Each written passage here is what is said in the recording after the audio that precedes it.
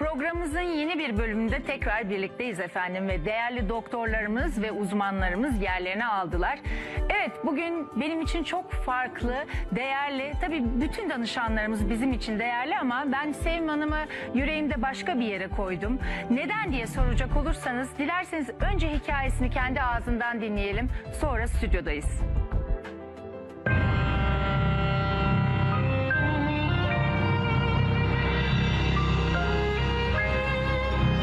Mutlu bir yuva kurabilmek tek hayaliydi. Çok sevdiği eşinin ihanetiyle tüm dünyası başına yıkıldı. Onunla ilişkisi olduğunu öğrendiğimde zaten kızımı da aldım evi terk ettim. Hayata sıfırdan başlamak için Deniz Akkaya'yla yeniden bene başvuran Sevim Çakır'ın muhteşem değişimine çok şaşıracaksınız. Sakın kaçırmayın. Hayırdır Sevim Hanım nereye gidiyorsunuz böyle? Bugün diş tedavisi için doktorumuz Nihat Bey'e geldim. Oldukça sevinçli, heyecanlı, biraz da korku içerisindeyim. Nihat Bey, Sevim Hanım'ın dişleri için neler yapmayı planlıyorsunuz? Ee, Sevim Hanım'ın şöyle bir durumu var. Ee, kendisinin bütün dişleri ağzında mevcut. Fakat mevcudun ötesinde 20 yaş dişleri de ciddi bir sıkışıklık yaratmış. Bu 20 yaş dişlerine bağlı olarak diş etlerinde e, kanama, iltihaplanma ve şişmeler var. E, bunu düşünerek biz kendisinin öncelikle 20 yaş dişlerini alacağız. Ondan sonra diş eti operasyonları yapacağız ve o diş eti operasyonlarından sonra hastanın e, kalıcı ve problemsiz sağlıklı dişlere sahip olmasını temin edeceğiz. Diş renkleri de bir miktar sarı e, ve onları da bir ton kadar açmak için bir e, beyazlatma işlemi yapacağız. E, bunun için çok fazla e, enerji tüketmesine ve çok fazla sıkıntı yaşamasına gerek yok. E, çok problemli olmayan bir vaka ama sadece diş eti problemiyle bu işi çözeceğimize inanıyoruz. Diş eti kanamasının sebepleri nelerdir Nihat Bey? Şimdi diş etlerinin kanaması e, bir hastalığın ifadesi. Hiçbir organımız durduk yerde kanamaz. Şayet kanıyorsa mutlaka bunun e, bir e, alarm, bir sinyal veriyor demektir. Sağlıklı olmayan diş etleri mutlaka kanar. E, hasta bunu başlangıçta fark edemeyebilir ama bu kanama sonradan akut diş eti hastalığına, sonra da bu kronikleşmeye doğru döner. Diş eti hastalığının en kötü tarafı hastanın e, mevcut problemini öncelikle hissedemeyip olayların çene kemiğine intikal etmesidir. Çene kemiğine intikal ettiği zaman da dişlerde sallanmalar, diş kayıpları ve çene kemiğinde kayıplar ortaya çıkar ki bizim için bence en önemli ve üzerinde baskılanması gereken konu şu aşamada o. 20 yaş dişlerinin işlevi nedir Nihat Bey? İnsanların 21. yüzyılda 20 yaş dişlerine ihtiyacı yok. Çünkü beslenme sistemimiz tamamıyla değişti ve 20 yaş dişleri en arkada kalan dişler. E, temizlenmesi, fırçalanması ve bakımı istediğimiz gibi yapılamayan bölgeler. Oraya diş fırçası girmiyor, hasta oradaki ağız hijyenini istediği gibi sağlayamıyor. Bunu yapamadığı için de orada bakteri plakları birikiyor ve oradan bütün e, ağzın ve e, diş etlerinin sorunlarının ortaya çıkmasına sebebiyet veriyor. Sevim Hanım diş problemlerinizin bu kadar ciddi olduğunu biliyor muydunuz? E, diş eti kanamalarım için zaten farkındaydım kanamalarımın. Ama bu kadar da hani kötü bir şekilde olduğunu tahmin etmemiştim. 20'lik dişlerimin e, sağ tarafının kulağıma vuruyordu. Ara sıra böyle çok şişiyor zaten bazen sürekli. Ama tedavi olacağını inanıyorum ve güveniyorum hocama da. Sağlıklı bir şekilde hayata gülümseyeceğim. Mutlu musunuz peki Sevim Hanım? Aşırı derecede. Şu anda e, Sevim Hanım'ın önce derin diş temizliği yapılıyor. Ve ağız hijyenini sağladıktan sonra kendisine e, gerekli cerrahi müdahaleleri yapacağız. Sevim Hanım'ı finalde nasıl bir gülümsemeyle göreceğiz Nihat Bey? Ee, Sevim Hanım'ı finalde şöyle. Bu işlemlerin süresi maksimum bir saattir.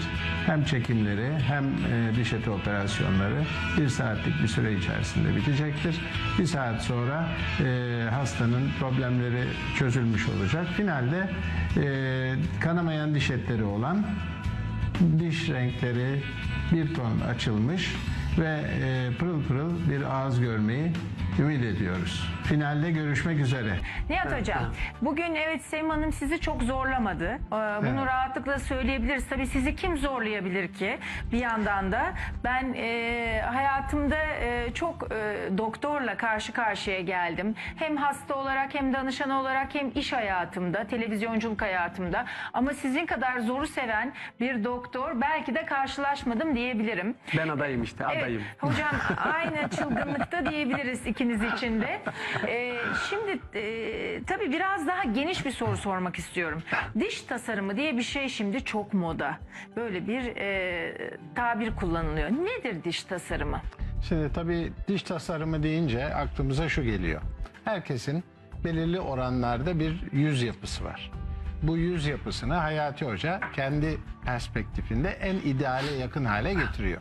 Geçen biz Samsun'daki ameliyatta da onu Evet. birlikte yaşadık ve e, büyük bir keyifle izledim. Hakikaten ellerine sağlık. Yağ dokusunu da buradan tamamlayayım biraz deminki konuşmayı.